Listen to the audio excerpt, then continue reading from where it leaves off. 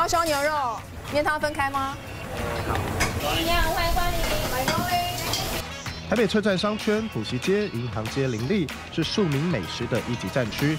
每到祭与葬庙时间，这间人气面食馆准时涌进死忠粉丝，用舌尖暗赞。有些时候吃半斤半肉，有些时候就是特牛，就看心情。特牛，心情好是吃特牛吗？对，或是心情特别不好的时候也会吃特牛。为什么？慰劳自己一下。牛肉面面好汤浓肉大块，心情好心情差都有理由吃一碗。能够通过舌尖疗愈心情的台湾牛肉面，其实出自两位外籍主厨手底。一早来自对岸的陈永超和加拿大籍的 John Roy 在厨房熬汤炖肉，分工补味，协力有默契。不是赶流行多元成家，两个连金携手打拼，小店里有共同创业的革命情感。还有两点半，depending on the size，牛肉小的两点，牛肉。阿德瓦主厨 John 努力说着中文，介绍自家牛肉之所以厉害的做法。他变成鸡同鸭讲，老板娘高美娟立刻跳出来担任厨房解说员。纤维比较长，比较对你可以说是有嚼劲，我们就要切薄，没有办法切厚。特选的后腿牛腱肉，肉质紧实带韧性，有嚼劲，得慢慢炖卤，让牛肉入味又不软烂，考验火候控制。但这一点也难不倒 John。趁着牛腱肉炖煮空档，厨房另一头也准备就绪，洋葱、姜片爆香，天然新香味扑鼻而来，诱惑退现。这一锅要煮的是店里的招牌特级牛肉。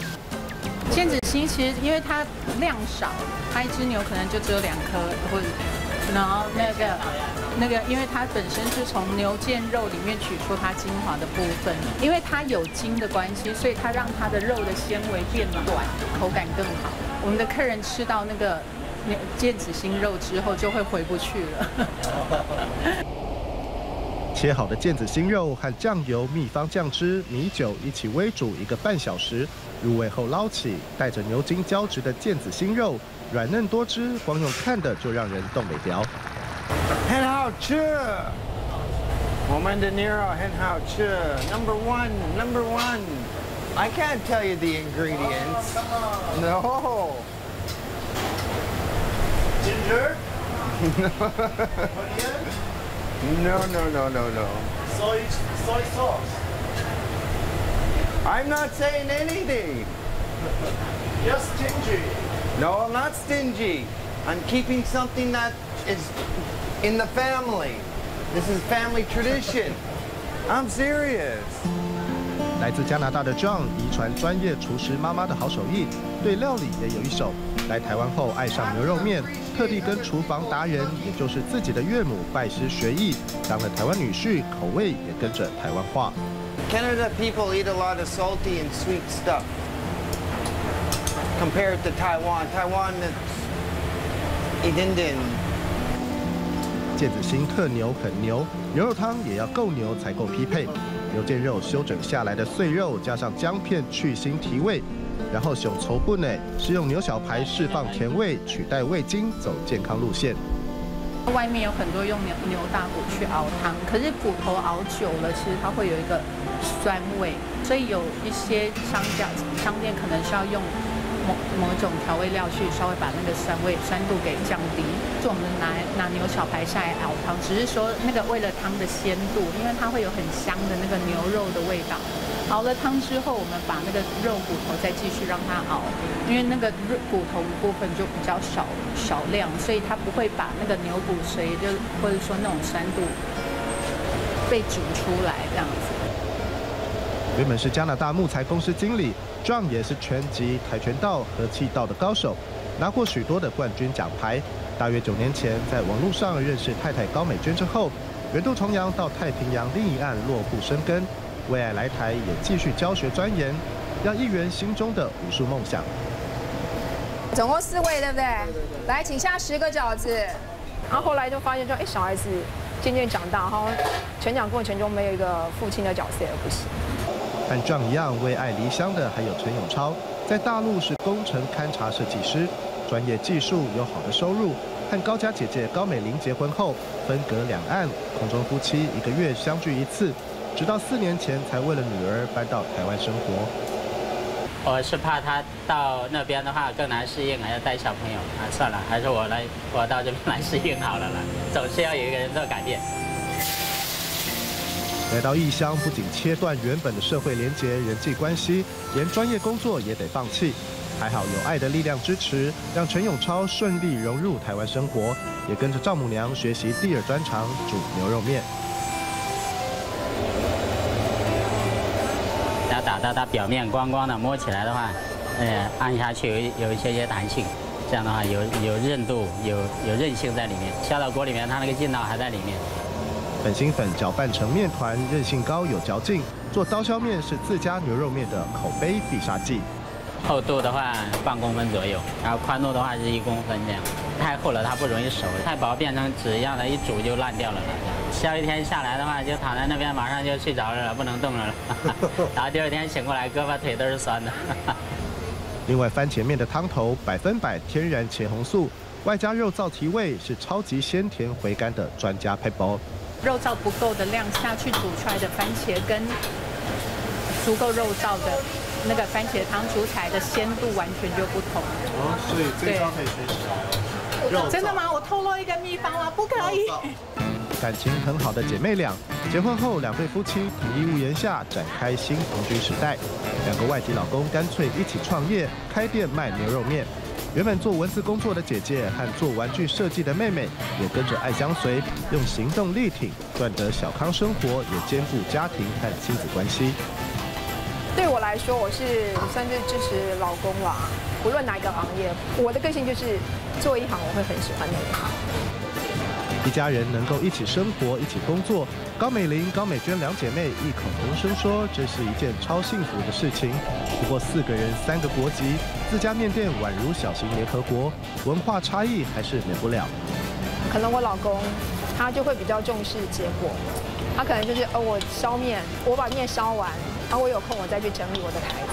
对于那个很注重过程、很注重厨房整洁的加拿大人来说，他可能就觉得。这个是一个他不太能够接受的东西。其实没有所谓的谁对谁错，就是只是说你，就是大家都是要把事情做好嘛。两个台湾女婿适应台湾生活怡然自得，这样说唯一还要努力的就是克服说中文的恐惧。超爱台湾的他已经把这里当成自己的国家，乐不思蜀，还打算申请永久居留身份。Taiwan is a very beautiful country. Uh, very good living. Uh, the people are very, very good, as in respectful. 而台湾人的老爸陈永超则希望把台语学会，当个架杠的新台湾人，上市场可以和菜贩阿姨们拉近距离，把干净，更接地气，融入这块土地。番茄牛肉拉面这边用吗？这边用吗？好，好，您请坐。两家人一家店，爱情亲情相承。未来他们希望能够稳扎稳打，开分店打品牌，与更多人分享这碗里寄托异乡打拼成家乡心情的非典型台湾人做的正宗台湾牛肉面。你好，一只半只，这有三百，你要整只的吗？上面这个六百五，咸水鸡、甘蔗鸡。好，来甘蔗一只分两袋。过年营业时间还没排出来，一开口就关心年节买不买得到鸡。灯光明亮的万华熟鸡摊，人潮没停过，更难想象小年夜还得半夜来抢鸡。你们几只啊？要半只？半只在特定哦。这一黑一白大的哦。一黑一白大的。他的啊，他的。端详着玻璃柜里熏的、盐水的、带油的、吃咬坚韧的，各有所好。前场不满意的，后场还有一整墙面可挑。选定了一手，两位师傅快手分切。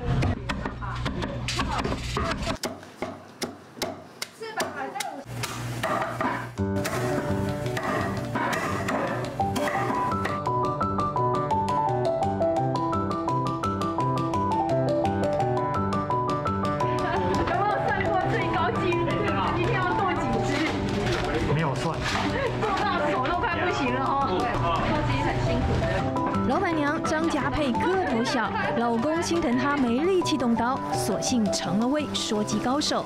他家的鸡像是伸展台上的 model，总得 spotlight 投射，展现最好身姿。有熏的比较香，原味比较甜，这都比较大只的，然后这边比较小只的，六百的。哦，对对对，所以能够 上架的都是特别，对，有选过美的，对，有选美过的。那个鸡有漂亮客人看了就会走走进来，真的有，有差的，他们是稀客的，对。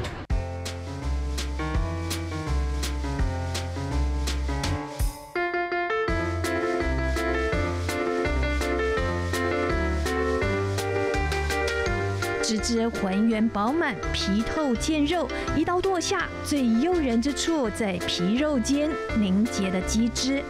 有那个鸡的洞，啊，龟龟壳还长啊，对，那吃起来是好，口感非常好。我就一分钱一分货吧。好吃，嗯，我从我从永和来的，特别好来这边买。一样啊，我们都永和，我们都永和啊，哇，好好好好好。我们的胃口都一样，讲起来就比较大众化，也不会太贵了，也不会太贵了。啊，这个口味符合我们就好了。面对年节这最大场，坐镇在嘉义的高俊宏不得不连夜北上巡场，因为要赶不出鸡来，台北五间分店闹饥荒，张家佩可是头会冒着烧。你是跟着这批鸡一起上来的吗？他们到我也差不多到了。你也到了？对对。我都是看一下他们摆设啦，哎呀，摆设有没有有整齐呀，然后清洁程度，还有水电啊，电灯有没有坏掉？哦，你要修水电？对啊对啊，坏掉我就要修了，对啊。养鸡之外还要修水电？对，养鸡是副业，修水电我看才是正业。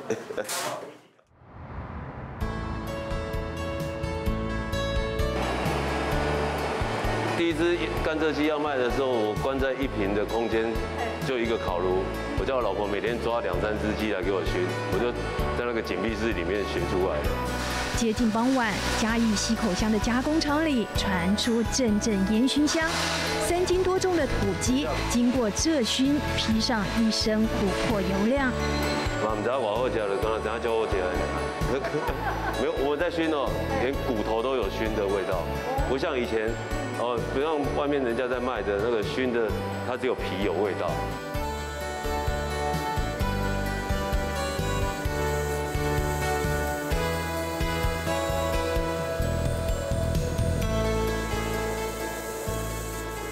机油直冒，鲜度看得见。没多久，运机车就满载，像是号角响起，整齐划一的送进机房。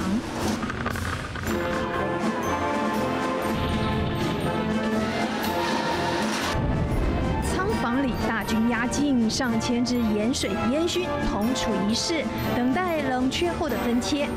养鸡、宰杀到加工贩售，这是高俊宏花了二十一年时间打造出的产制一条龙。我们都有练轻功啊，就轻轻的勾着啊，轻轻的提起来，轻轻的摸它，让这个煮到刚好熟，整只鸡都吹弹可破的感觉。这个冷掉就变成鸡冻。不到二十岁就做到水电包商，却遭厂商倒债三百万，只好回到万华三水市场卖熟鸡。店面只有一平大，太太前场卖，他在后场煮。年纪轻轻就练就煮鸡好本领。你用大火煮了会很干柴啊。哎，会打大呢哦。我们的鸡肉结实，然后又细嫩。煮出的鸡肉质 Q 弹，好入口，生意越来越好，一股好还要更好的向上力，让他开始溯源养鸡。跑到台南嘉义养鸡，甚至自己配种。红羽有纤维，黑羽肉质细，两相混血的新土鸡，养三个月才出鸡舍，口感更好，个个鸡冠鲜红，头好壮壮。连我自己就笑我自己做公的啊，因为你要卖鸡，谁要来盖屠宰场？然后要卖鸡的人，谁会来养鸡？哦，大大家都去。批发市场拿现成的就好，去跟电材厂买现成的就好了。消费者也没有人会关心这这一只鸡到底它从哪边来。我不是公蛋，我无做袂使啊，我就公贵头啊。父母市场卖鸡，他发誓长大绝不碰鸡。但越是逃避，越是被粘得更紧。陷入墨菲定律的鸡贩小孩，养鸡养出心得，路子倒也继续走下去。但接踵而至的卡梅基和莫拉克台风，把他三十万只土鸡摧毁，一夕间损失超过五千万。你在最辉煌养鸡的时候，那时候我鸡养很多，每天家里客人不断啊。然后那时候打电话来跟你问候的，除了自己的亲人跟。真正知己的好朋友，其他只是来试探这通电话有没有人接。哦，你还在不在？哦，是不是招楼梯啊？是不联络不到人？从英雄变狗熊，尝尽人情冷暖，还好行李架的傲骨没被打断。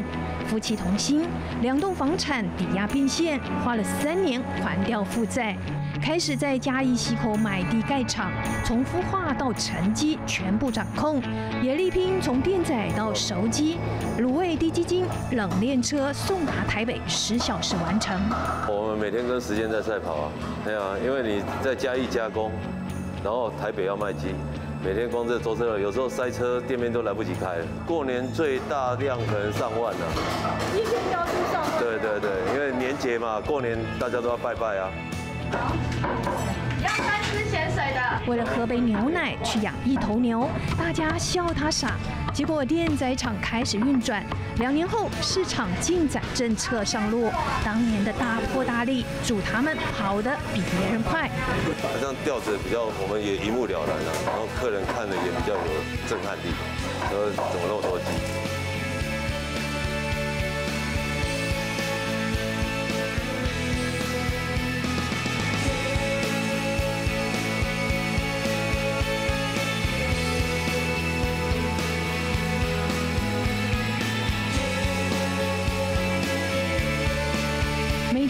上千只鸡北上，月营收达上亿，产销一条龙，再也不因市场波动影响鸡价。未来还要把骄傲的土鸡外销东南亚。夫妻认份把一件事做好，掌握先机，机会来了，世界都是舞台。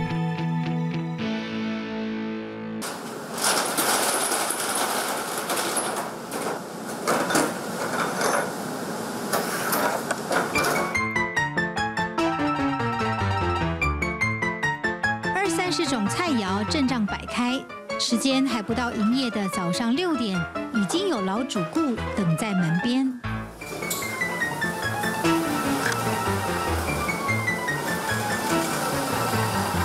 万华区许多老人家，每一天都是从市场小巷内这一摊台式早餐开始。小飞，你吃饱了？吃饱了，荷包蛋，荷包蛋的，还装包水，安尼啦。不一会儿，小摊前的凳子已经全部坐满，还有站着排队外带的。后场的大姐赶紧加快火力。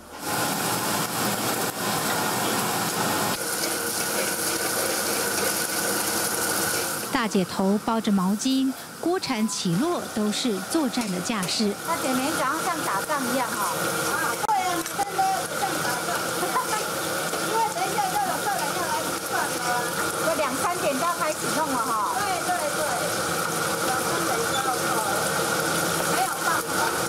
加加崩阿贝，加来上面菜，青菜有苋菜，后面有茄子，有葱苦瓜，呃瓜子肉、红烧肉还是福菜。亲切招呼客人的是六年级的老板阿伟，尽管戴着口罩，充满笑意的眼神依旧温暖热情。谢谢。来，哎。他说来吃饭的阿公阿伯都像自己家里的长辈。所以每一碟菜二十元，他怎样都舍不得涨。这样把它压低一点，对不对？因为这边都是主顾客在吃，你你今天把把价钱高了，他们也对不对？那就反正能过大家就基本上就是顺着以前这样这样做就一一直做这样。现在外面他价钱越来越高了，因为店租贵啊。对。而且我们在巷子来。房租比较便宜一点，所以才能够说就是吸收一点。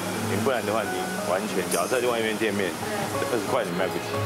也是有一点照顾长辈的心情啦，哈，就是阿伯来这边吃饭。啊，当然了，这一样的嘛，就就就很像久了，他也把我们看成自己自己的小孩一样。啊，其实这边都是这样，万华就是比较年长的社区啊。对。你反而年轻人的东西，他们没法接受。对。像我们的菜，你看都要煮的比较软一点。好，比较软一点。你没有比较软一点，其实他们没办法。嗯。所以一个地方一个地方的。对。那假如这种菜在东区卖，年轻人要不吃啊？啊。太软了，对不对？所以，所以我我就说，符合符合万华这个环境。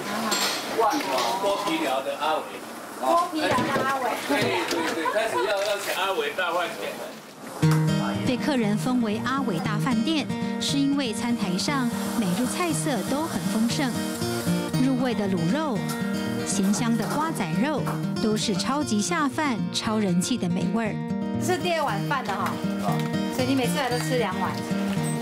自助餐专用，很好吃啊，自助餐它有算贵啊。所以大概多少钱就可以吃到？大概一百以内吧。就可以吃的很早午餐。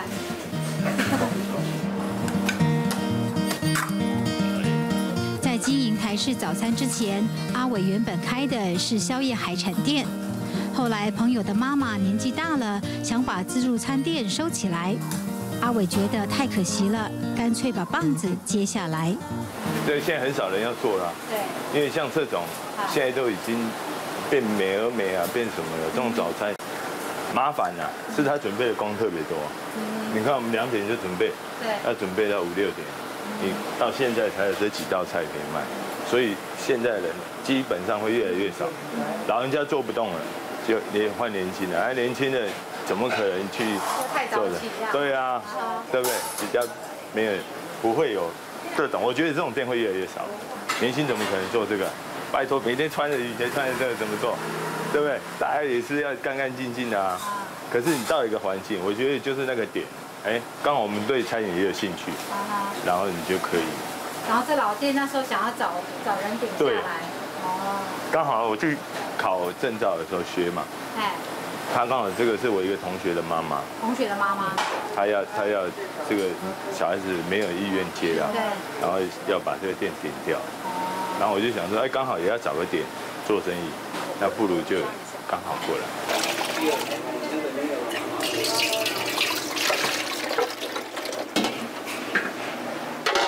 第一轮的客人来的差不多了，阿伟抢在第二轮之前炒咖喱。台式咖喱就是，台式就是加三层肉。对，没有加那个，日式都是加那个啊，鸡肉啊，牛肉啊。这个要把它炒香，因为它跟咖喱块不一样。对你咖喱块要直接丢下去了，那我们这咖喱粉你必须要温度够，把它炒香一下，比较好吃啊。对，还有松板肉，这个刚练那个马铃薯的。这道招牌的台式咖喱饭，老客人都知道，要等到八点过后才有的享用。来，对，那个肥哈。好吃，好吃。你这肥鱼啊。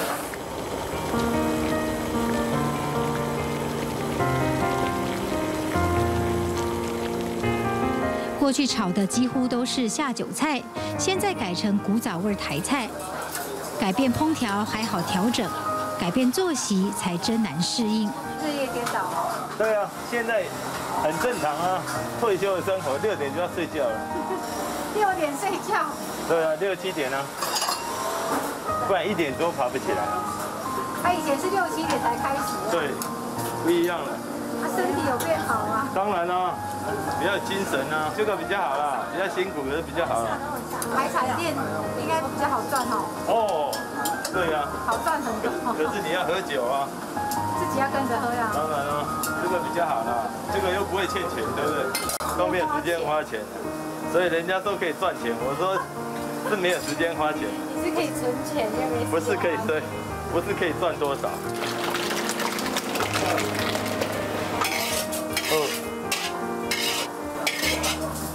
乐在工作，也从工作中遇见真爱。未婚妻的父亲还是中破塞，请教他了哈，不懂的就请教他了。所以有跟岳父请教哈？当然啦，他那个老经验呢，他的资历比阿基塞还还老。比阿基塞。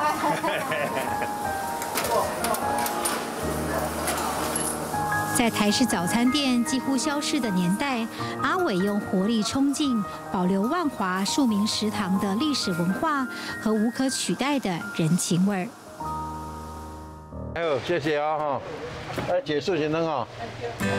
白白胖胖的挂包带着蒸腾热气从蒸笼出关，接着躺卧在小钱碗里，花生粉、酸菜、三层肉，还有爽脆香菜，一层一层堆叠。最后包夹成米其林指南大推的台味汉堡，挂包就是台湾汉堡啊。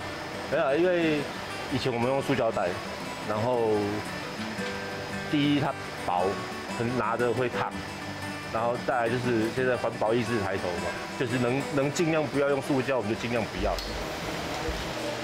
我马个那边未等是什么意思啊？那是旧年的时哦，啊，就对啊，国记者拢走来问啊。吴黄义原本连“必比登”三个字都没听过，做挂包三十年，自家东西好不好吃，他心里有谱。自信的舌尖味蕾和客人每天面对面的直接反应，是最准的评判标准。必比登的肯定是自漫味的锦上添花，也让吴黄义和吴国元父子更加忙碌了好一阵子。粉肠汤跟挂包外带，吴家的老摊子每天的日常温度，如同眼前的热烈蒸腾。但二零二一年五月中旬，蒙甲成为台湾社区疫情的起始点，人人闻之色变。位在华西街内，吴黄义的炉火也在一夕之间冷却。本来无无啥烦恼啦，因疫情爆发，咱乡较早煞数一届的，无遮尔严重，咱咪想个几工啊，正正半个月安尼尔嘛。无讲哦，我一个我变成两三个月。较早一年当完咧休无几工，休无一礼拜。哎，都去过年后休，尔也无好休。人生本来就是安尼啊，拄着啊，全世界咪干咱咱台湾尔，种咱台湾个袂歹咧。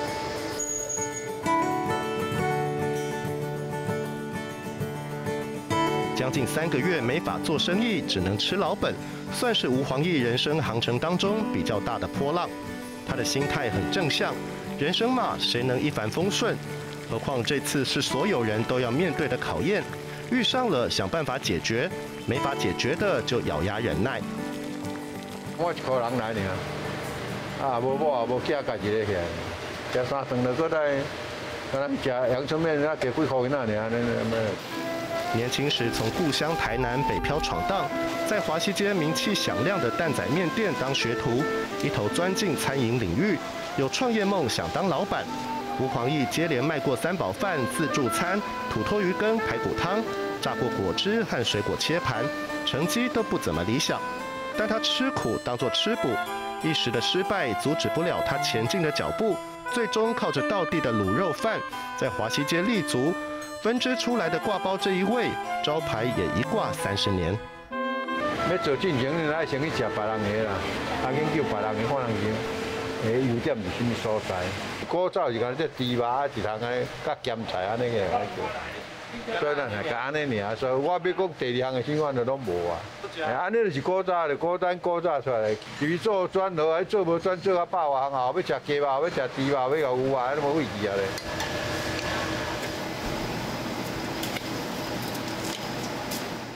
要把事情做到专精，先把简单的事情重复做。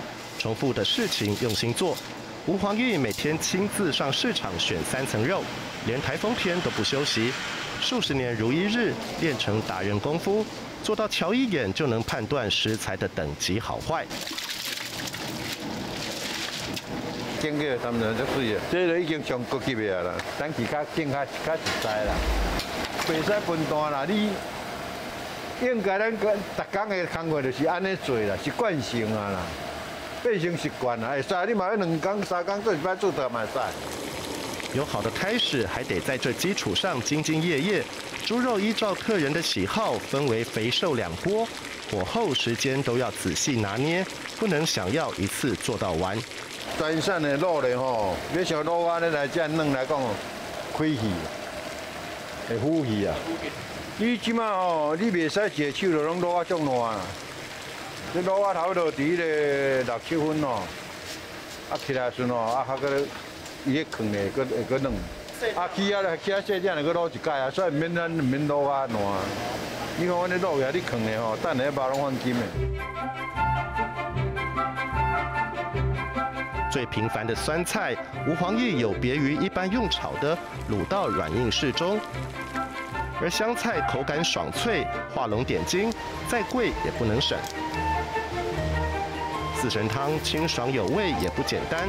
他说产品没几样，没道理做不到位。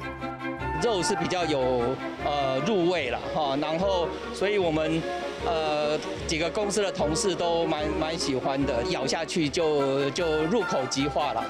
食到无老，然后今打食看嘛，啊食都煞掉了。哦，拜一来我出来做一百分了。两个挂包，一个综合汤，怪蛋。对，一个，一个啊。吴黄义的二儿子吴国元，从小在爸妈身边练就利落身手，更年轻时做到怕了，退伍后跑到外面上班几年，才甘愿回家扛下传承的担子。一定是这样子啊！你那是从小做到大，然后好不容易退伍了，想说可以自己去外面试试看的，怎么可能还会待在家里面？父子协力打拼。老爸开摊，吴国元负责午晚餐时段和打烊班。第一代传授基本功，第二代改装摊位，进化工作流程，改用汉堡包装。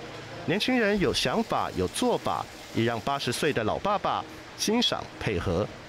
这次修到会怕，以前很想修很累啊，后来改改成有周休二日的时候，我还争取说我们要不要有周休二日。做吃的多做一天算一天的，还有还有哪有多休息的？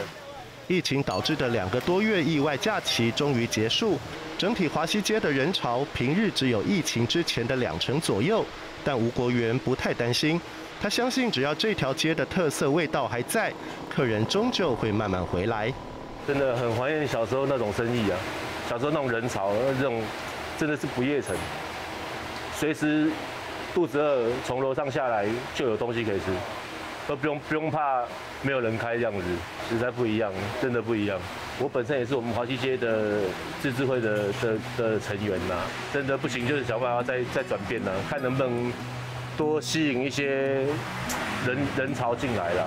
每个夜市一定都这样想的啊，真的要变了。华西街曾经因为蛇店和工厂而繁盛一时，连带的形成小吃聚落。时代变了，吴家父子和左右邻居也在变与不变之间拿捏前进。但吴黄义坚持，再怎么变，好味道不能变，勤奋乐观不能变。如同他以身作则，八十岁还天天上场督军，乐此不疲。加减没当做，就加减做啊！啊，你没当做，咱就麻烦咯。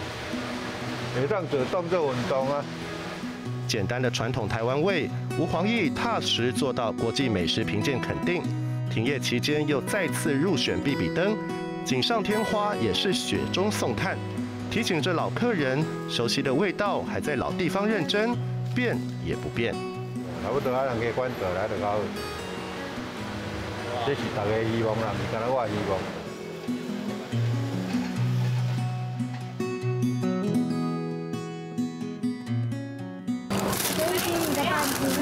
一个一斤，一个半斤，这两个一袋。好。久违的热络，久违的全员到齐。我们家牛蒡丝是一根一根的，不能整头下去。哎，我们的招牌，就像这样一根一根的。啊对。哎呀，对啊，这就搞钢的啦。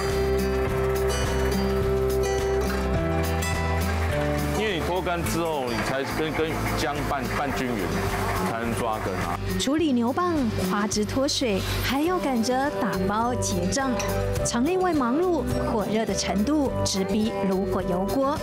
半斤一百要多少？对啊。很久了，是的，很久，久到老客人都能算出来市场的次数。没有那一阵子大爆发，没有出来市场，啊，我这是第二次了，对，因为要拜拜。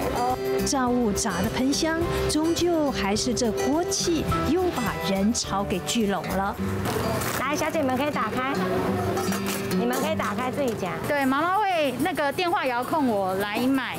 虾卷他们有穿衣服跟没有穿衣服的，因为我妈很麻烦，她还说要买没穿衣服的。哦，对对对，因为穿衣服感觉这是老客人了。不要，他很老，他是龙山商场的人。谢谢啦，因为这后来就气炸很好吃。对于惠如家的产品如数家珍，这也难怪嗓子都喊哑，还要大家别心疼他，因为这可是种幸福声响。一两百五，七百五，七百五再一百五，刚好九百。从疫情那时候很惨呢，那时候刚开店根本就没有人，一天不到一千多块钱，然后慢慢就刚好加上中元节了，然后才比较有人，因为大家毕竟就是会鬼月嘛。夏去秋来，祭拜好兄弟的日子，顾客终于又走进长廊，步伐多了，交易有了。这里是万华的东山水街市场。是疫情的时候，呃，比较少一点，对，但是还是很想念这个味道。每样商品都很好吃啦，真材实料。慢慢敢走进市场。对呀，我这个礼拜就来买了两次了，一定要支持万华。上次就是还有遇到，对不对？就是华南市场的事情，所以又延了一个月。今天很开心啊，因为我妈妈说要来我们家吃饭，对，因为她知道万华市场都开了。摊子的灯其实一直都亮着，只是别人不知道。郑敬腾的店处在中段，挂着布幕，充满日式风。锅里的每份炸物总是传达着阿公年代浓浓古早味。香花枝里面包呃花枝、香菜、梅子，嗯，还有红萝卜。那实际上好吃的地方是因为它吃得到花枝的整颗，那的香气比较多。采访这一天，疫情警戒已经降为二级，迎来摊商交易最重要的日子——中元节。当家的他把炉台熟悉的转速给找回来，一字排开的油锅阵仗，四大锅分成高低油温，还有穿烫煮羹的，各司其职。这一回三角花枝丸炸完，紧接着是人气红糟鳗。那红烧鳗因为锅渣皮啊，所以我们都照传统，像我们这里都自己切的，要照纹路切，然后它里面都是昂，我们用酱昂糟，所以它颜色就是这样。如果再多的话就很黑。祖传三代的鱼丸老店，其实，在东山水街市场早有名气。早上七八点，往往内场还在煮制，就已经有客人在店前等待。更不用说，每到假日，一定人气满意。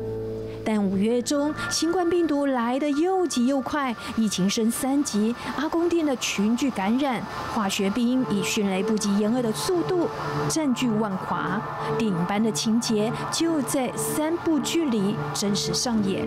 那我们还在吃饭，然后吃到一半，突然又化学兵冲过来，那我们觉得有点错愕，因为那包很恐怖啊，而且是整台整台街这样喷喷洒过去啊。然后我们我就跟我老公说这样不对，而且那剥皮寮那个。筛检站那时候成立，隔天就成立了。那我都说我们怕筛检的那些人，如果万一筛完有没有确诊，我们也不晓得，然后会走来山水街，所以我们就自主休息了九天。这一喷把钱子也喷飞十万八千里远，市场的灯熄了，炉火一关就是九天，九天后重启，又再传确诊，只好再休五天，情反反复复，店也就开开关关，最后是开一天的店就要赔上万块。第一天的营业额都只有两千多，真的是亏本的生意。亏本？亏本啊！因为我一天的营业额不止啊，我营业额至少一天的开销就快要两万啊。对啊，那时候根本真的是空城嘛，整家商店就是空城，没人敢进来，没人敢进来，连快递都不愿意送啊。那时候严重到的时候是连听到“万华”两个字的食物，他们都不愿意要，他们怕万瓦都是有毒的，连空气都有毒。很气啊，因为那时候刚发生的时候，我们客户在台中就啊，你那边发我们也不晓得。他说你那边，我们说还是吗？后来在阿公店那边，不在我们这边，可是他怕到了。他说，呃，寄东西过来，从这边寄过去，病毒会带过去，所以暂时不要啊。我那时候觉得啊，真的是有点心寒啊。再热的油锅也化不了这心寒。老店总不能才砸了七十万改造，就败在看不到的敌人手里吧？想想，既然人进不来，就想办法把食物送出去。因为医务人员他便当吃不下，然后就问我说可不可以配合我们家的产品。我说我们家是炸物而已，他说 OK。那我就想说，起先开始是先赞助，后来觉得他们吃的喜欢的，就开始用。我给他用最低价的金额，就是让他用订购的方式，把炸物装成原便当送出去。剥皮寮、和平医院还有妇幼医院的医护都吃到了，收到好评。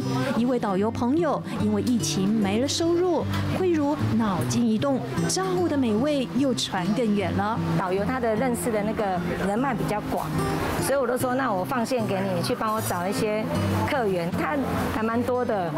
对对对对然后就是这样慢慢的做起来。像我们有虾卷、花枝、海苔卷，还有甜不辣，就全部把它配在一个盒子里面，大家都吃得到。对对对，因为我们以前都没有想过要用这种方式，没有，因为毕竟我也不晓得你喜欢吃什么。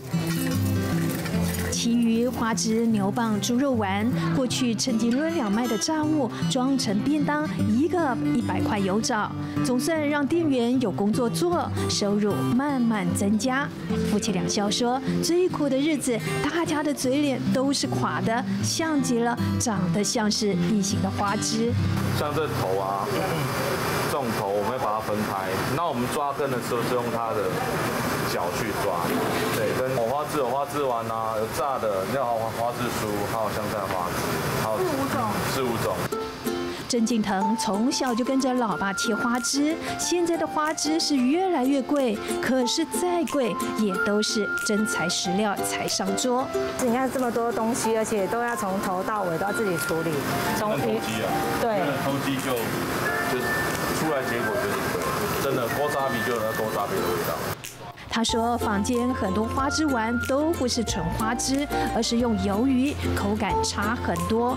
他们会把软嫩的身体部分做成花枝酥，花枝角就切成段，用鱼浆裹成花枝根，入口可以咬到花枝口感。因为你必须花枝跟姜要一支一支搭结合，而且要按扎实。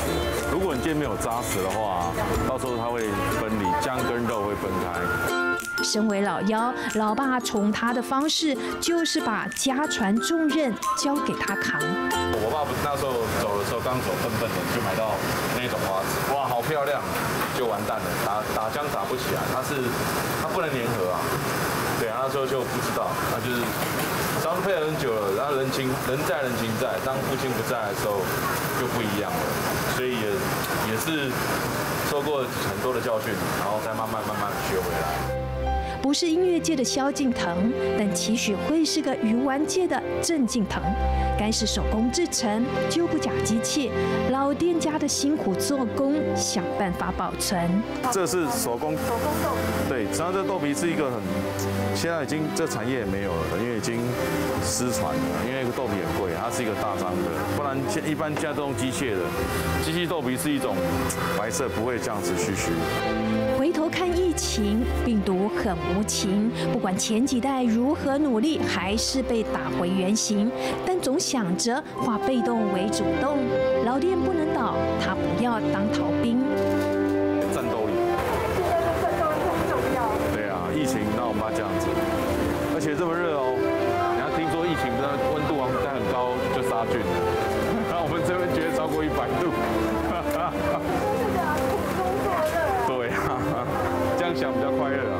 是天晴后就一定会有彩虹，但坚信只要不放弃，职人精神做工依旧，客人总还是会寻味回头。再大的难关，也有双隐形翅膀，不怕下油锅。来，秀秀来，阿姨救过呀，乐的哦，来秀。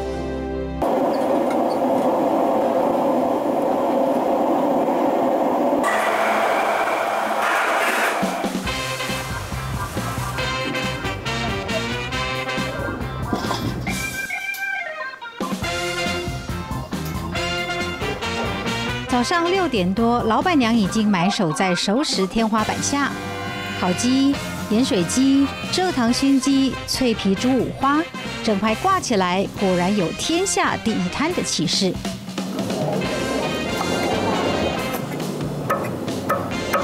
烤到酥脆的猪皮，下刀的声响就把饕客迷得晕头转向。要成就这样不凡的滋味，阮家父子凌晨就得开工。就是说撒一点盐巴，现在的话我这个就拿来蒸了。我先蒸再烤。哎，对，蒸起来要打洞。这样子烤的时候才不容易皮肉分开啊，它不会起水泡。对对对，起水泡的话就是被你这边一个一个泡起来，这样来去主要是它主要要防水。早上一点半就在这边。应该说是清晨一点半。清晨一点半。对，早上会很快。清晨一点半。对对。要来这里。对。麻烦吗？哎，因为这个这五花烧的话，它它是比较费功夫啊。说叫他你来，我就是要先用什么吹干，吹干之后面再下去烤的话，会皮的话它比较比较比较快，做出来快熟，然后皮会比较皮比较脆。对对。你们家做的比较好多。哎，对啊，烧腊就是比较杂啦，有有花肉，有有烤五花肉，有叉烧肉，有烤鸡、熏鸡、盐水鸡，还有卤味、水煮笋丝，哎。这边多一点，那边多一点的话，才会才会做到餐到齐。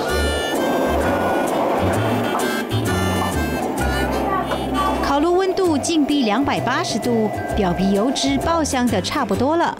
这时猪五花得做第一次的整形。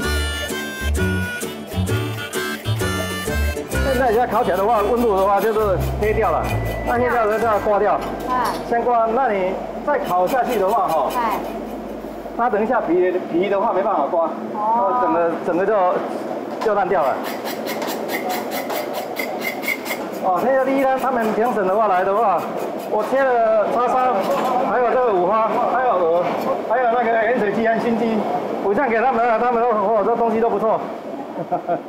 要反向。要反向啊。嗯。下再反向再给他烤。对。相当麻烦了。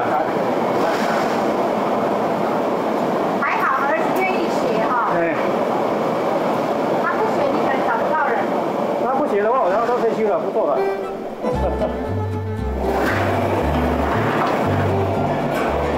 反复烘烤，反复整形，一块猪五花从进炉到出炉最少一个半小时，才有皮脆肉嫩的迷人口感。这还只是老板阮明峰众多招牌品相的一种，真正让他赢得天下第一摊的是盐水鸡。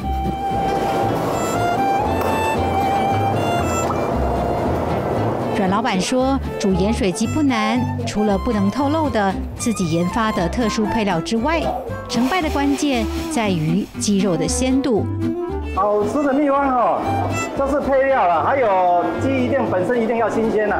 因为鸡如果是说你冰过的话，或者怎么样子的话哈，放放了太多天的话哈，今天杀起来的话，放到明天煮就不行了。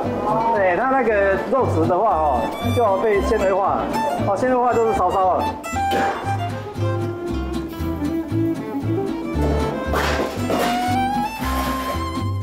这糖色它等一下会那个烟会变黄。啊，那黄的话哈，这火都可以关掉，再焖一下的话就可以了，自然会上色。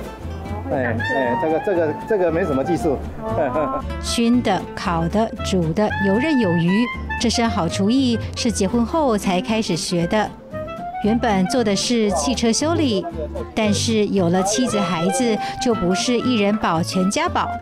为了养家，他跟着朋友学做熏鸡、做叉烧，手艺纯熟以后，就租了万华市场的小摊子，找家里的姐姐妹妹共同经营，生意口碑都不错。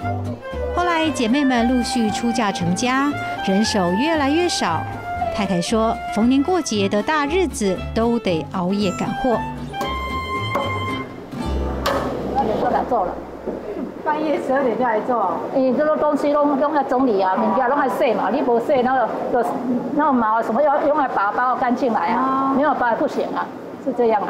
哎呀、啊，我当初嫁过来知道这么累吗？我们以前都没有做过的，啊，不想做做那么累啊。还好儿子伟伦当完兵就留在父亲身边帮忙，几年磨练已从生手变熟手。我姑姑一个一个都嫁出去了，还没有人手了，啊，我不做的话怎么办？啊，就是从失败一直一从失败的教训一直一直成长，一直成长，才会才会到才到现在才会才会做啊。失败会被骂吗？当然啦，骂骂骂骂到头头头洗头哦。因为前面还赶着要出货，就是。哎，对对对。爸爸，爸爸会很凶吗？哦，会哦，我骂到我快哭出来了。那你你最佩服爸爸的一点是什么？毅力啊，意志力啊。他的意志力。对。因为做这个很辛苦啊，然后有时候有的客人遇到 OK 的话，又要忍受，忍受他那种脾气。客人临时跟我们叫叫鸡肉啊，啊，结果他说很赶，那我们也是要很赶，要要出出货给他嘛，啊，结果路上塞车，他就没有时间到，他就噼啪骂，骂骂骂骂骂骂到这快翻了。对啊。他爸爸还是忍下去了。对对对对对。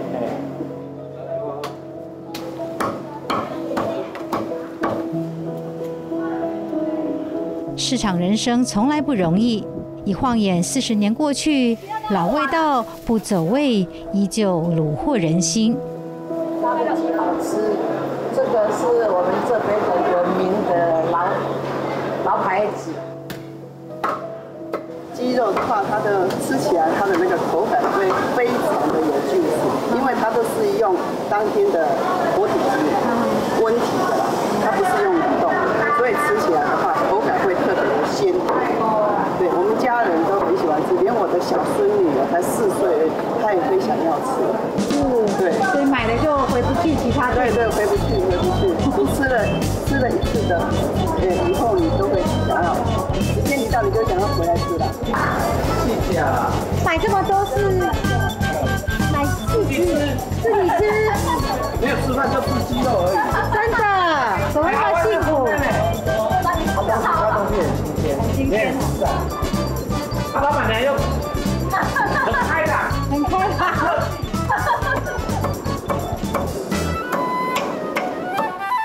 虽然已经是三个孙子的阿公，阮明峰依旧乐在工作，二度获得天下第一摊的殊荣，夫妻俩笑得开怀。摸黑工作的每一个日子，顾客的肯定就是一家人的最大动力。这个肉要切肉燥的话，哈，要先焯一下水，这样这个肉等一下哈，你要切的时候才不会跑。清晨的老万华街灯金的绝美，映得蒸笼上的氤氲也如仙气。纵然老父亲挂在儿子耳际的叮咛叨叨絮絮，却一点也不干扰这个时分的冰清。以前好，因为那时候我还小，小学差不多四年级的时候。我妈妈刚开始都是在家里做一些油饭，然后拿到菜市场去卖。早上就很早了，那时候哈就想说，哎，早上那么早起来真的是很辛苦，没有什么意愿要做这个东西的。后来是因为我妈人身体不好，然后她也很舍不得她哈这么辛苦哈，辛苦了几十年的那个的生意哈，就就没有人跟她接。曾经厌恶，曾经叛逃过，最后却还是舍不得让妈妈伤心。黄一清逃到了三十五岁，却还是选择回家接手老店。妥协的那年起，他便习惯比太阳更早的早起。专程去挑的，你没有专程去挑哦，他这个哦没有这么漂亮。那有的人他先来的话，就先挑比较好的啦。像这个这个都很漂亮，有没有？这个这五花肉真的很漂亮。事实证明，勤苦还是值得的。挂包用的五花要挑油花浓鲜匀称的，晚到就绝没这种花色。油饭拌的肉燥，从前妈妈用的是猪颈肉，她则改良选后腿肉，加进猪肉皮一块卤，既能吃到胶质，又香润滑口。代价却是三十年来就得一刀刀手切至今。那个他们那个绞这个肉哈，有时很难绞，有时候会有一些零零碎碎的肉哈，他们会加上去绞，有的有的会这样子，然后这样子的话哈，我我是觉得给客人吃哦比较不放心呐。他的猪颈肉是这样子的，都是这样，差不多这样子，一一条一条一条。它是它的肉肉的话，就是回回瘦各半，所以很多人看到那个碗上面哦，那个一层回肉在那边哦，现在的人不敢，大部分都不敢吃了。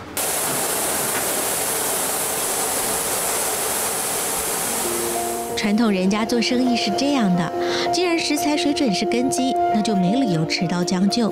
肉燥亲手切，猪油亲手炸，能改的是与时俱进的配方，不能改的就是小店成功的执念了。以前哦，我外公是在邦嘎这边哦做那个中破塞，办的办桌，以前餐厅很少。大家都是有家里有什么喜宴啊，或者是有有有有入座啊，就是你煮啊，千金房啊，都都是请客人哦。大部分都请中波再来再煮，这样子。那以前我外公他是这样，他他我我我妈妈也小时候哈，有时候会他们人不够会叫他去帮忙。一个挂包，一个挂包好。因为家有中破塞，黄义清的妈妈从小耳濡目染。当年就算经典台菜风华厚厚一本如此海，她也能信手拈来。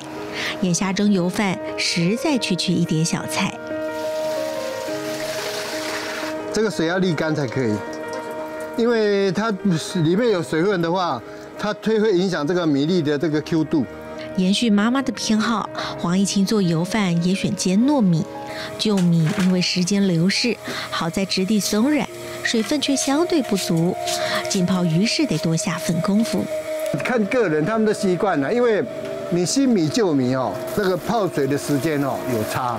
你新米的话哦，不能泡太久；旧米的话哈，你时间要泡久一点，那个米心中间的米心才会软才好吃。然后这边要打气孔的话，就因为我们太满了，所以说它水蒸气有时候上不来。因为我那个一天哦三桶哦。有时候卖不够，所以说哈，爱用套脚波就是弄高一点，增增高一点这样子。但是这个要有技巧，真的要你要有就有技巧，才。对对对对，没有这样子，这这么高，我没有办法，不够。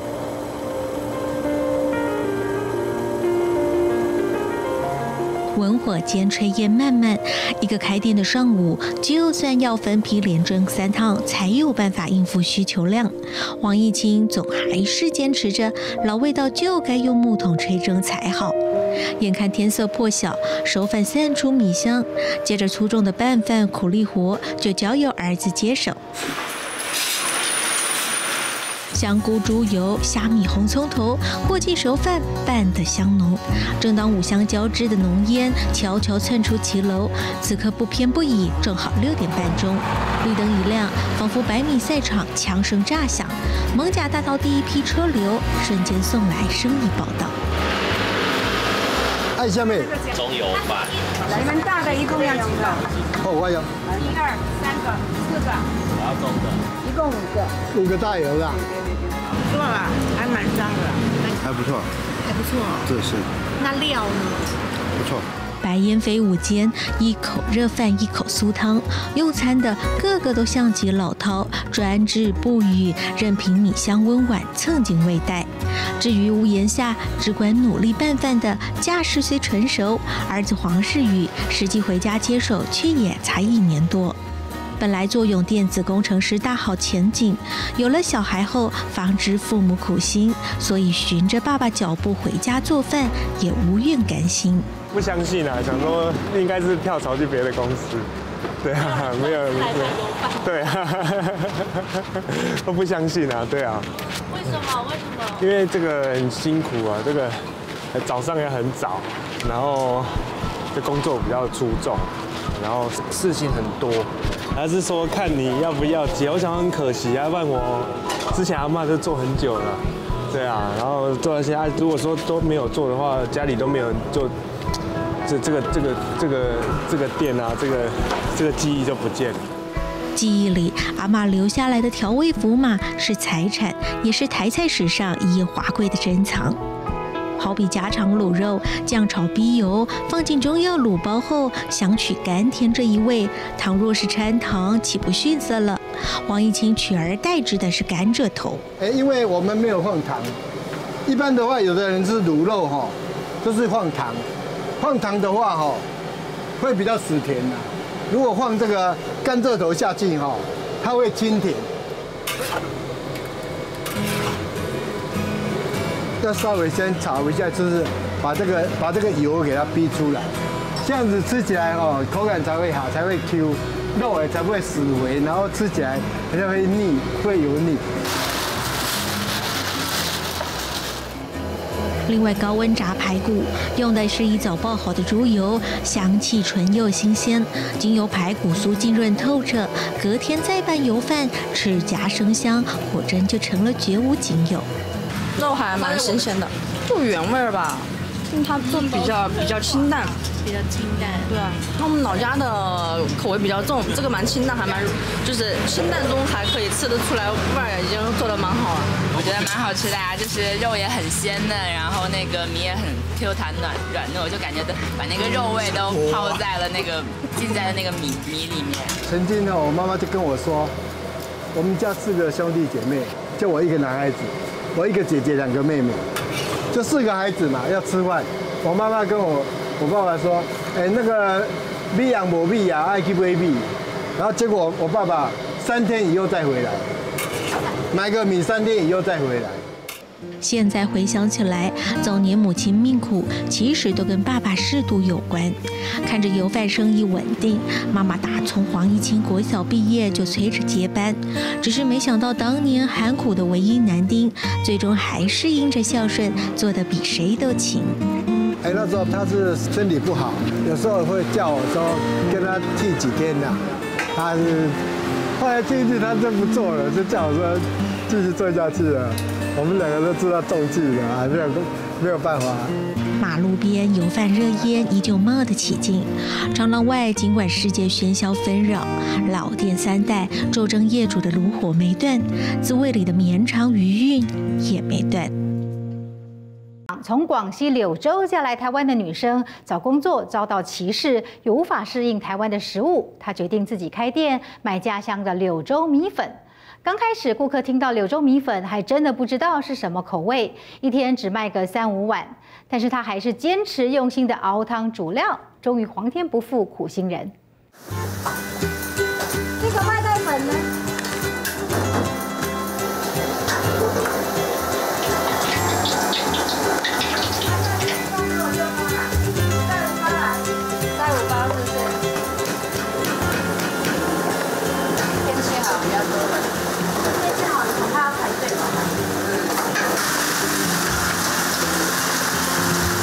初夏的滂沱大雨，浇得路上行人简直就快断魂。偏偏雨越大，钻进韦晴文店里的人越多。心心念念馋的是这么一碗貌似红烧牛肉面，滋味却出奇丰盛的螺蛳粉。所谓的螺蛳就是你们讲的螺，我们那边螺的统称就叫螺蛳。凡是什么烧酒螺啊、田螺啊、石螺，我们都叫螺蛳。然后螺熬的汤。加米粉，所以我们叫螺蛳粉。其实螺蛳粉对韦晴雯来说，也就是老家柳州人俗称的广西米粉。氤氲弥漫间，大把的花生、炸豆皮、卤牛肉、卤大肠头拌在汤头里，极其对味。过去还没结婚前，那不过就像台湾的卤肉饭、阳春面。怎么知道嫁来万华后，翻遍全台，找遍村边巷底，竟连一碗都不见。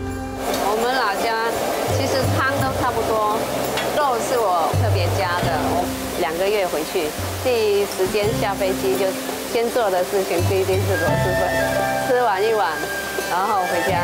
但回来要上飞机之前要吃一碗再回来。正因为家的味道实在太遥远了，如果自己动手，岂不方便许多？韦清文做第一碗的念头是这样来的。但是对于熬汤有多繁琐，当初却没想太多。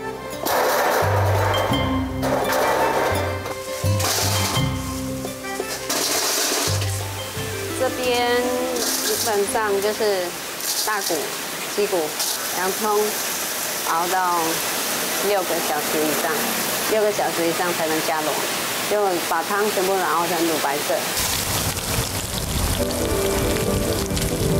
本来我们当地都是那种辣，真正辣的辣椒油，但是我考量到台湾很多人不吃辣，不敢吃辣，所以改用韩国辣椒粉，最主要就是要它的香味。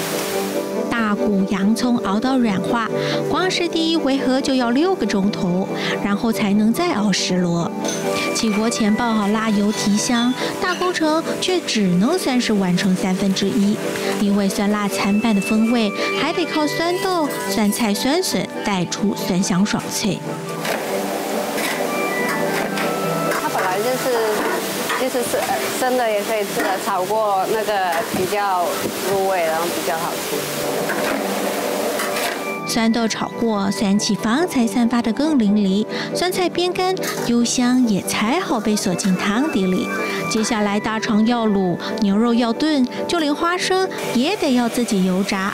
饭肉绵绵不绝，涓涓不止，总要到最后才得以换来一碗化解相思的滑润丰满。呃，刚开始不习惯，可是就是吃一次就屌哎。它汤头还蛮浓，它就是有点微辣，然后再有点酸酸的，它那个螺螺肉的味道在里面。虽然没看到螺肉，就 是就是有螺肉的味道在里面。他说桂林，我就觉得很好啊。刚刚现在来吃就是回忆啊。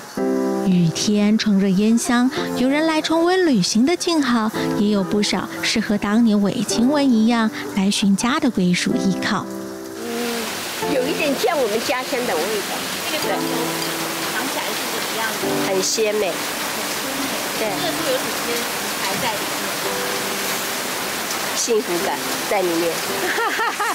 一口浓汤，一口米粉，这滋味儿宛如能让迷途的灵魂有所依归一样，所以高朋满座也就不奇怪了。只是刚开店时，客人却是一见到店名就谢绝上门。他们不会想说这是吃的东西，他们想说这是五金行的，类似五金行。每个客人来都要都要跟他解释很久。一样的话每天说了，日子久了，生意好了，总有不必再解释的时候。然而九年前，韦清文跟先生结婚后搬来台湾，对于这里的食物却是餐餐吃，也等不到适应的那天到来。我吃的快哭了。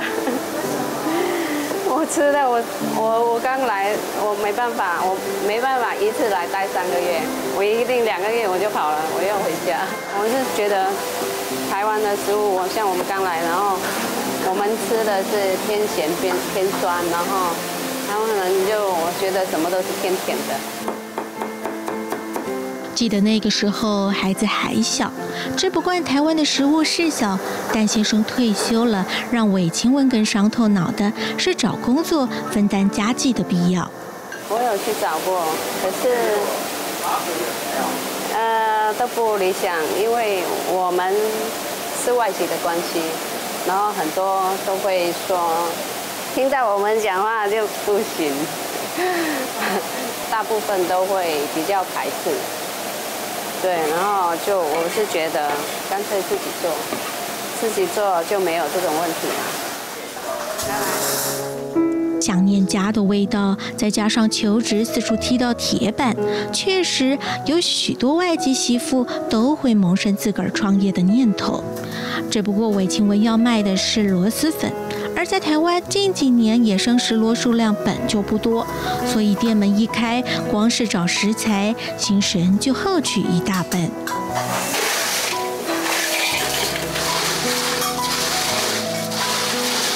这个它一定带活水，那个流水干净的水，它才有办法生存的。它如果那个有污染的水，它就生存不了。来，这个先拿过去。那你们这个柳州的米粉到底哪里不一样？为什么一定要用这一种？呃，口感比较好，口感好又滑，用很久的陈年米做。对。那你后来是想办法，就是回老家去进口，想办法进口。回想那个当时，不仅石螺不好找，韦清文选了台湾的粗米粉，泡在汤里一煮就断。前些年生意门可罗雀，一点也不如当前。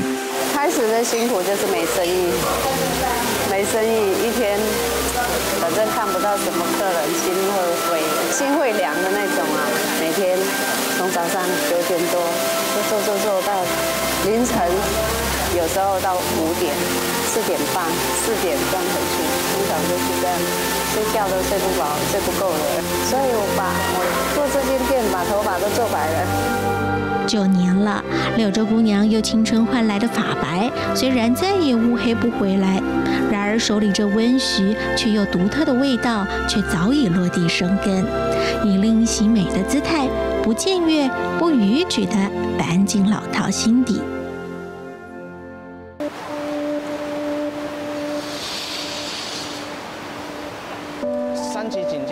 的前一两天，我记得前两天那时候就觉得怪怪，人潮大概就少将近一半，我就突然觉得，哎，怎么人突然少这么多？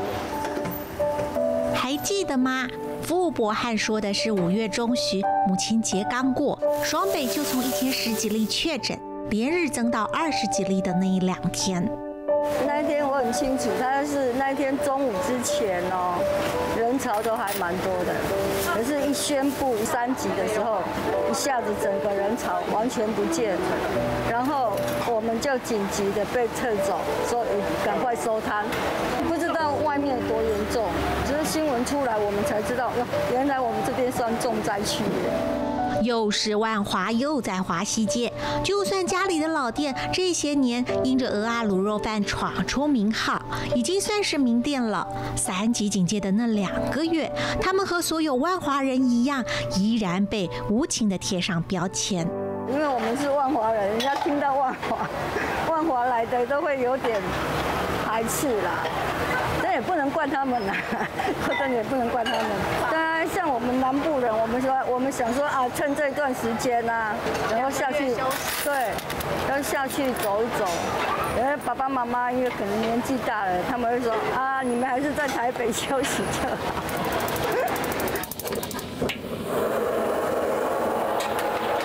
傅伯汉七年级，从小生在万华，长在万华，靠的就是这一锅浇淋在白饭上的家传卤肉，把四个兄弟姐妹养大。一锅甜心焦黄，取的是猪颈部位的七肥三瘦，恰似名模般的婀娜比例，同样是三七比。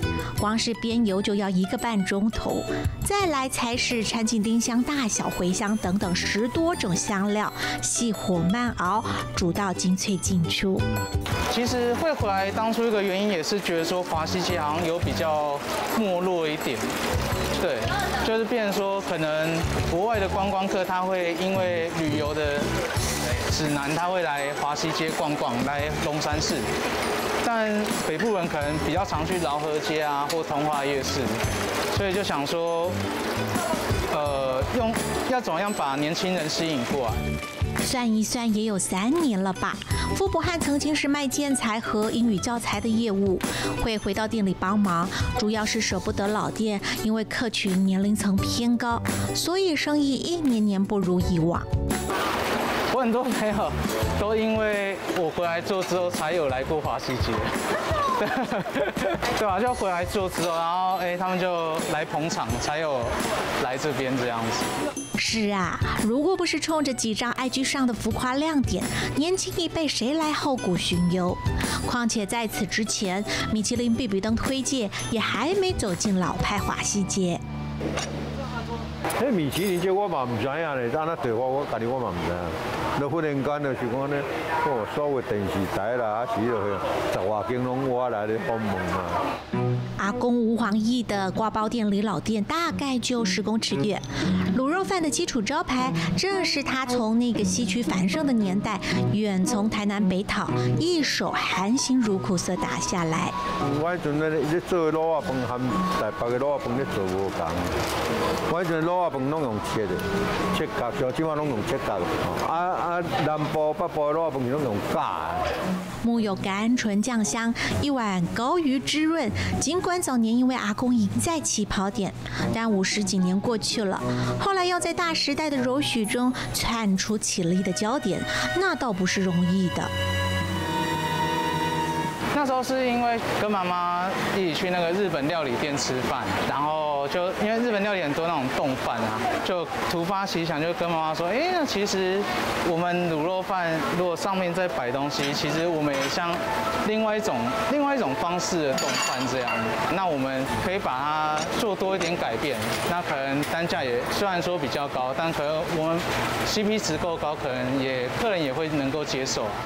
就这么，他做了两种实验：一是在阿公原有的卤肉饭碗上拼贴出蘸了古味酱意的蒜泥白肉；另一碗则是叠满视觉效果丰美的鹅啊，再佐以澎湃蒜酥葱花。结果证明，鹅啊卤肉饭大赢。这个鹅啊，这是少年的创创作了。啊，伊我是伊卤啊，当然基诶底基础底。啊，你当初有甲咸过啊，啊做下来就好食，变哪咸？对吗？以做下歹食，咱来个咸嘛。我觉得这家阿姨卤肉饭是我小时候吃到现在台北市第一名的卤肉饭。算你第一次吃到鹅啊跟卤肉饭加在对加在一起，它的味道还不错哎。说真的，尤其加了很多这个葱跟那个，它有好蒜酥，对，它的蒜酥炸得很酥。每天都来，常常吃。因为每天中午都来吃嘞。对啊。每天都来啊。对啊。什么啊？我们来这边工作。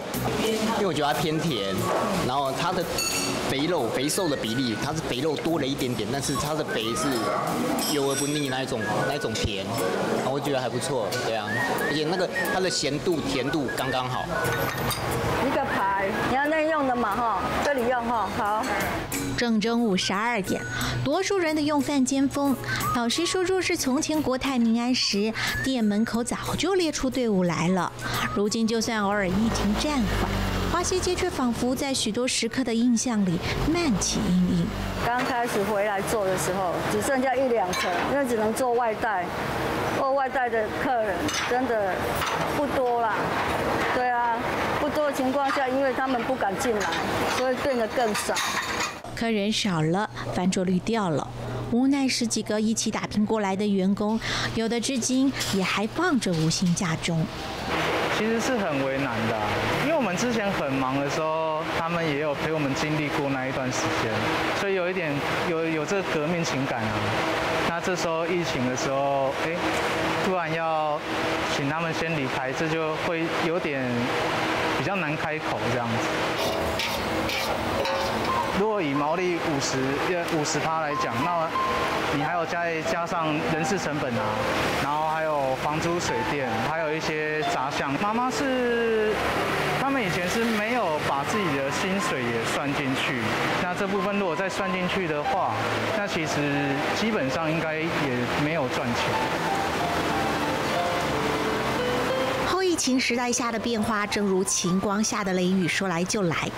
无论再幽静的午餐时光，也会被打乱。傅伯汉说：“把家里的卤肉饭做成冷冻包，现在看来，不也就像是预备方案吗？”其实我觉得餐饮的生态有慢慢在做调整。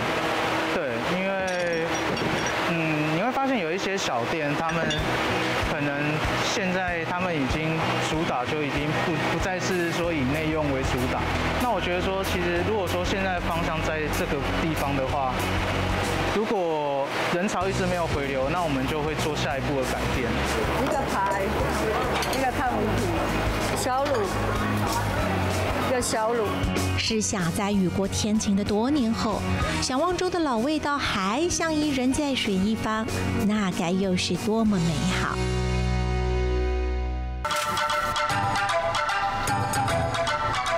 是鲑鱼肚，然后这个是豆签。立夏后才刚披起夜幕的老台北奔忙的奔忙，缓下来的就转进巷弄。氤氲浓郁的关东煮餐车升起暖滑，并在华丽的寿司摊边，就像弯着腰杆，盛情欢迎打拼了一整天的上班族们。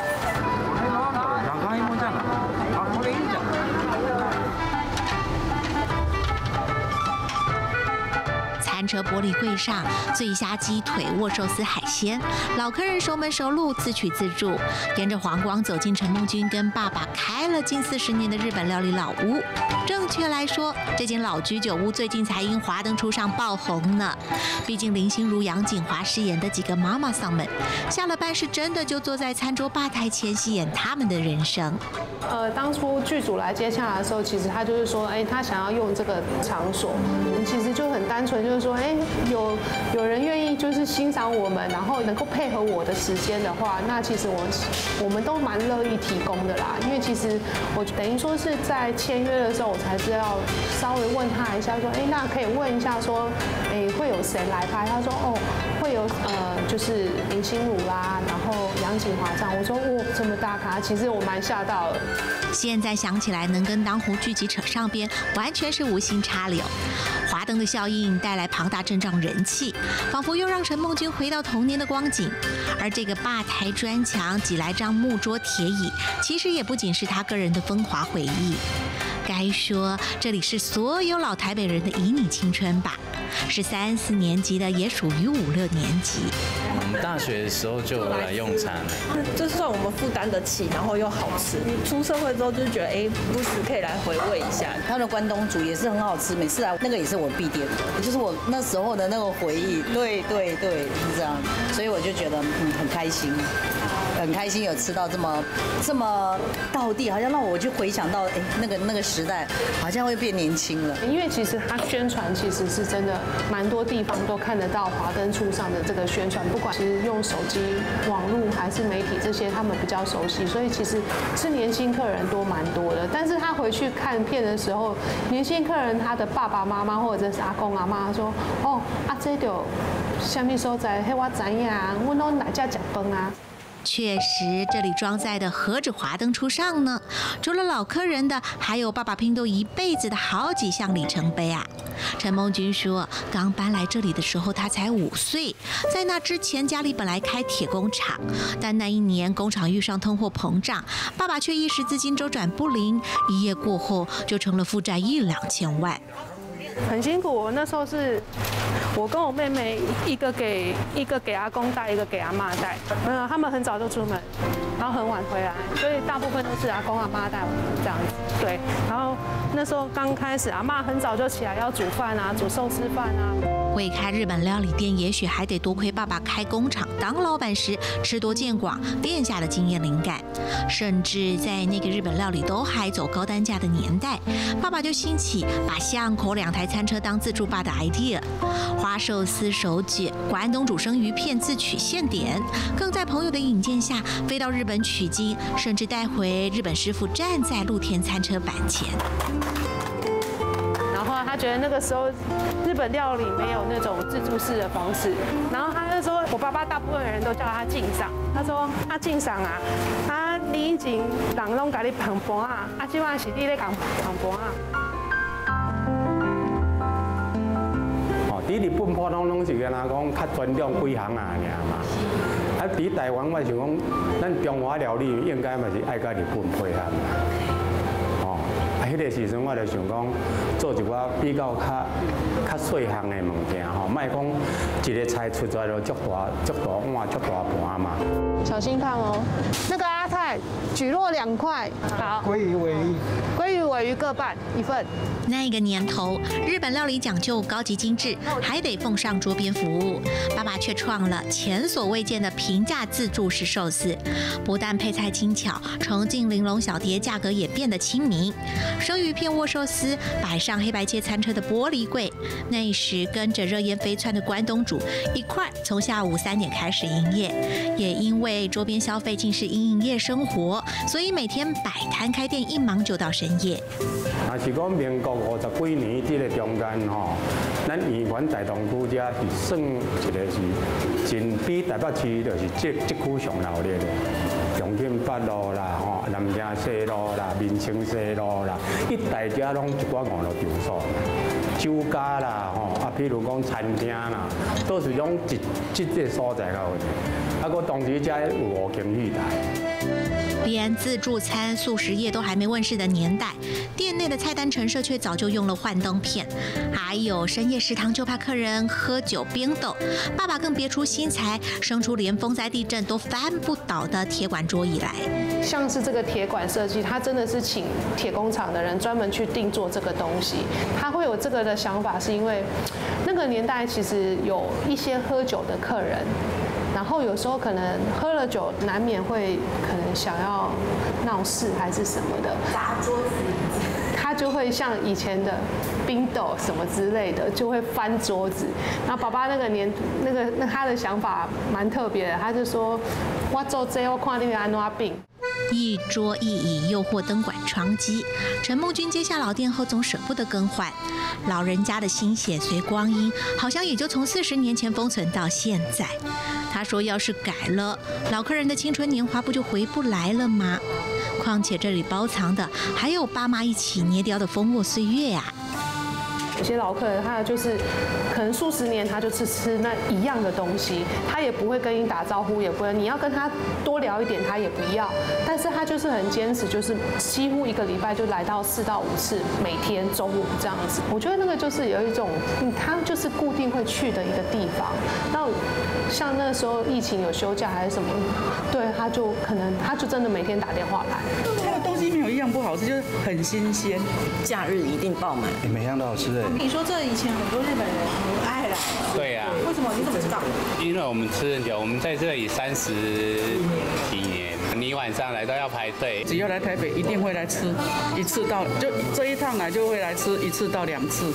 有时候就像今天刚到嘛，就先吃一次，然后改天过几天回回南部再来吃一次，不然会很想念。不管在哪一个时代背景，有人追的是味美，也有人为的是氛围。但随时间流转，定有人只为了走进小巷，寻几盘小菜，找到怀旧思绪的出口。而古早味的另一层疗愈，不也如此？一次出四五十包的量，还蛮多的。那我想要答谢他们，我只能说。送他们猪血糕啊什么的，然后让他们吃，就是把箱子铺满。四十年的老味道，装在冷冻真空包里，赶着装箱宅配。佳美这时的心情可是忙得超开心。今天寄出大概几人？是几份啊？哎，五份，五个地址。五个地址。哎，就是。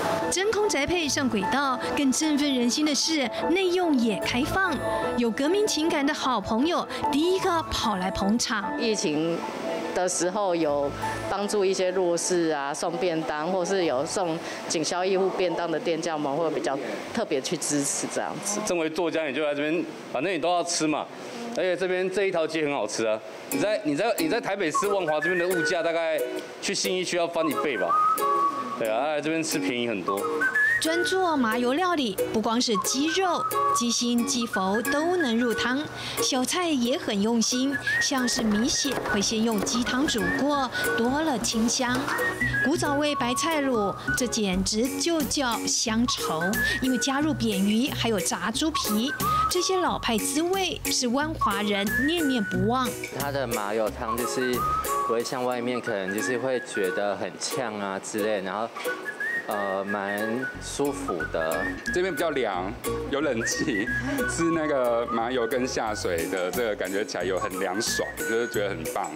那冷给这个要很温柔，就像对待小三跟小王一样，不然它皮它皮就裂开啊。还是像以前在骑楼时一样的龟毛，一心追求品质完美。当然，受惠的就是上门的顾客。这种颜色的细毛，一般人不会去注意到。那你们还这么费工要拔掉？不拔掉，自己心里就过意不去。就会拔上瘾吧？我们我们去外面吃那个鱼头，嗯，不是人家领都没有去吗？嗯，那老板为什么不卖了？就是因为他去那个领去的太辛苦了。我就说，那你就学人家不要去。他说不行，那他宁愿不卖。笑说拔毛都拔到斗鸡眼。这个黑鱼土鸡是煮制麻油鸡首选，体型不像常见的红房土鸡长那么快，肉质较为结实有嚼劲。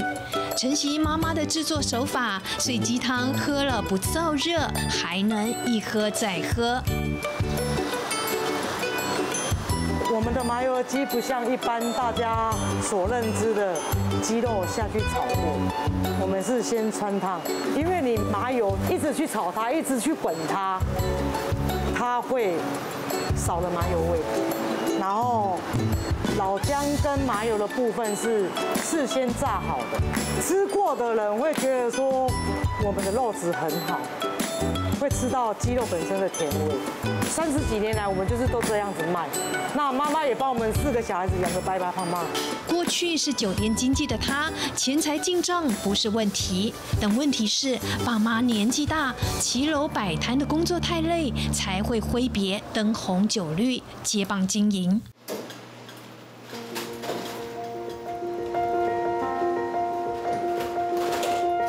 当时每到营业时间，就得推着上百斤摊车到骑楼就定位。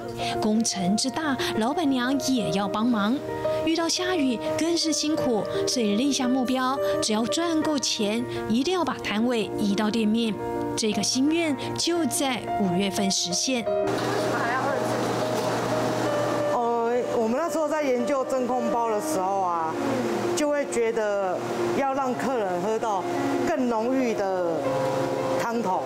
我们那时候研究的时候，鸡肉丢掉很多哎，然后叫朋友来拿回去看，我就说就是穿烫过的，然后看你们要用红烧的还是三杯的。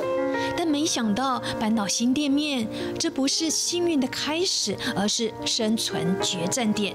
因为才开心庆祝开幕，第三天就风云变色，疫情爆发。位在热区对面，生意瞬间降到零。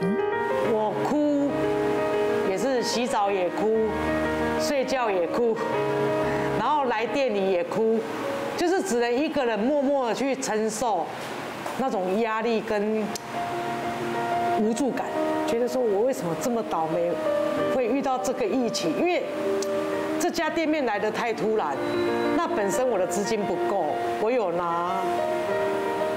汽车去贷款，那我想说，那我每个月我要我要怎么去偿还？没有，我们都没讲话，就是我说什么。一百多万装潢，但开店第三天就没进账，只好把车拿去贷款四十万，才能付清机器设备、水电费。至于预备好的百金食材，也只能一天一天丢。万华在地作家林立清发现，串联他参与爱心活动，与其把食物丢掉，不如将它装袋捐赠给弱势家庭。然后那时候接到那个。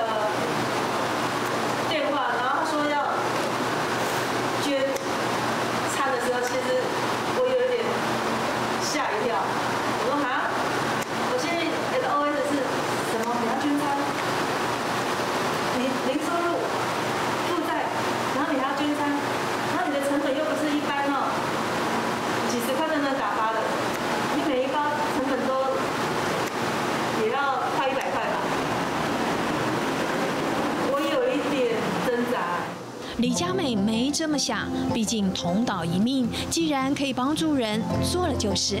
至于自己的难关，就先搁置。但没想到，希望的曙光就在助人这件事里悄悄发生了。如果在弱势家庭，他们在退兵的当下，觉得啊袋子怎么会是破的？可是这个又是那不用钱的，他可能不好意思跟我讲。那我就突发奇想，哎。真空包，为了捐助想到的真空包，其实也可以应用在自家产品。真空宅配就成了走出困境的解药。没钱买机器，破例把老板娘哥哥送的红包钱拿出来用，租了台迷你真空机，也办了食品字号，铺网公告周知，汤品推出冷冻宅配，结果网友给了最大支持。一推出生意很好。非常的好。那时候是几月份？五月份，诶，等于六月初的时候。当时量有多大？应该那时候第一波破五百包邮。就是麻油鸡跟当归猪脚、香菇鸡跟米雪糕这一块，这样破五百包邮。惨淡的五月到八月，客人进不到店里，甚至连经过都不愿意。但靠着四十年累积的超人气，真空包被大量买单，麻油鸡的滚滚香气，百里远外都闻到。还好当初我没有阻止他去做这件好事情。其实活到四十二岁，没有看过这么人情味。在残酷病毒威胁下，万华店家团结启动自救雷达，助人也自助。原来肾是会循环的，而佳美和关怡的转型路是关关难过，但也就关关过。